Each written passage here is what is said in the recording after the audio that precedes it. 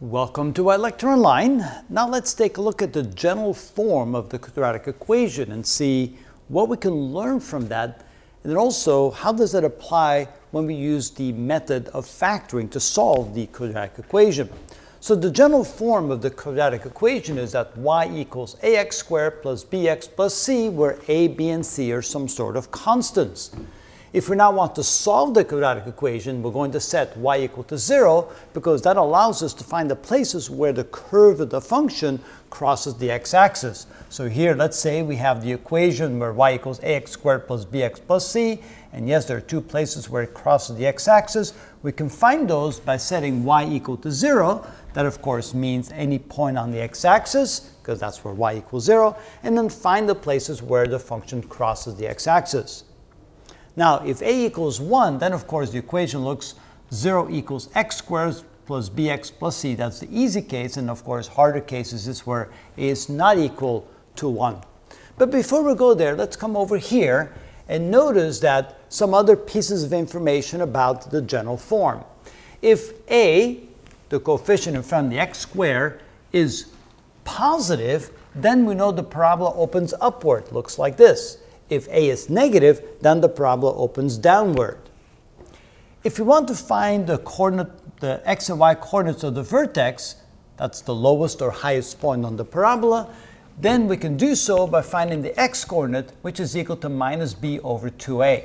Of course, we take the negative of b and divide it by 2a, and that gives us the x coordinate of the vertex. And then if we draw a line through the vertex, a vertical line, that's the axis of symmetry between the left and the right half of that quadratic function.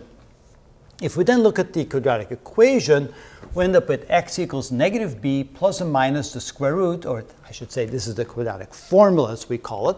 So we write x equals minus b plus or minus the square root of b squared minus 4ac, all divided by 2a.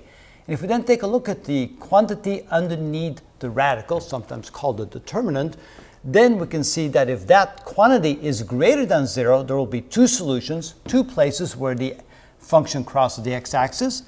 If b squared minus 4ac is equal to zero, then there's only one solution, only one point where the function actually touches the x-axis. And then if b squared minus 4ac is less than zero, then there's no real solution because of course we cannot have a negative number inside the radical because that will give us what we call an imaginary number. Then there will be imaginary solutions, which means that the function does not cross the x-axis. There's no places where the function touches the x-axis. So let's go back over here with the case where a equals 1. Then, of course, our general formula looks like, or general equation looks like 0 equals x squared plus bx plus c.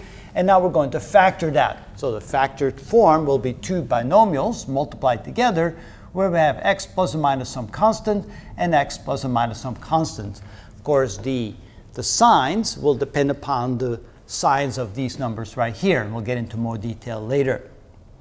Now, we're looking for two numbers to put in here. And the two numbers, the sum of the two numbers will equal b, and the product of the two numbers will equal c. So in this case, on our example, we have 0 equals x squared minus 3x minus 4. We're going to factor it in this form, and the two numbers we're looking for are such that the sum is equal to negative 3.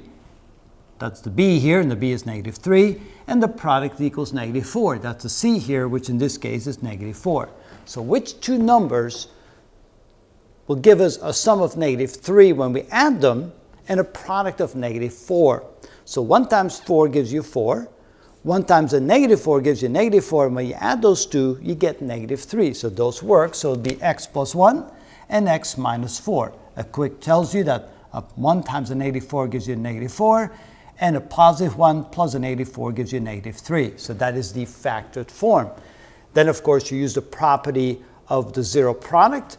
That means if you multiply these together and you get 0, then you can conclude that x plus 1 equals 0, or x minus 4 equals 0. Oop, x minus 4. There we go. x minus 4 equals 0. Which means that either x equals negative 1 or x equals positive 4. And so those are then the two solutions to our quadratic equation, which we solved using the method of factoring. And again, we can see then the relationship between the method of factoring and the general form of the quadratic equation. Of course, using the quadratic formula and using some other Uh, uh, other piece of understanding on the quadratic equation, you can see that there's all kinds of inf information hidden in the value of the constants a, b, and c of the general form. But at least now we have a good way of looking at the equation, understanding what it is, understanding what we're looking for when we talk about solving a quadratic equation, and then how to go about doing so when we need to use the method of factoring. And that is how it's done.